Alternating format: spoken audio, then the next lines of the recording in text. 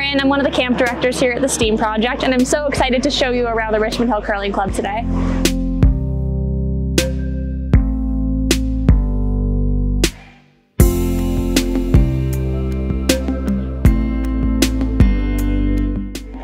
Welcome to the tent. This is a community meeting point where we all come together each morning for flagpole, announcements, skits, and lots of dancing. We also come here throughout the day to play games, have snacks, lunches, and do lots of activities that we do here at camp.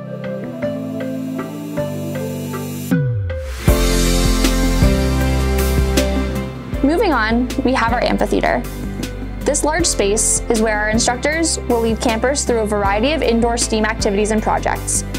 The projector can display all sorts of lessons and activity instructions that our campers can easily follow to make amazing projects every day. This space is also home to our Wellness Center, where campers and staff can visit if they need any first aid administered. Our amphitheater can also be converted into a fabulous performance space, where guest speakers can share their inspiring stories, educating and entertaining the camp community. This is our Counselor in Training, or CIT, lounge, where campers who are working towards learning the skills to be a counselor can participate in leadership seminars and work towards their own personal projects in a comfortable and safe environment.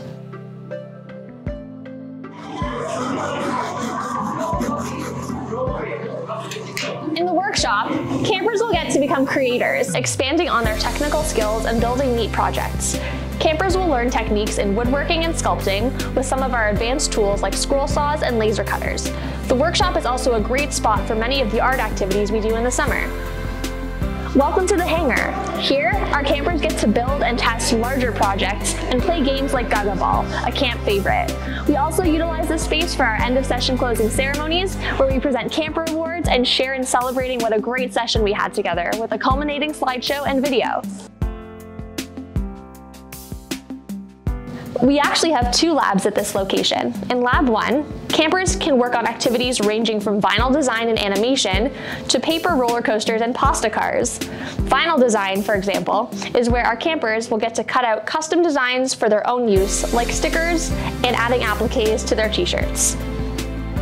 In Lab 2, our activities are focused more towards our older campers who want to challenge themselves. They'll get to learn and practice coding, 3D design, and computer mechanics, all under the direction and expertise of our instructors. Lab 2 is also a cool place for campers because it holds all our 3D printers. Last but not least, we have our field. We're really lucky to have this great field space here at the Curling Club to use for camp, and we use it for things like sports, water all sorts of other great games that we play here.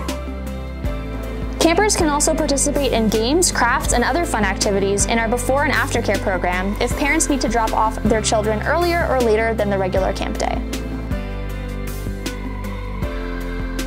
We hope you enjoyed this tour of the Steam Camps Curling Club location. See you soon!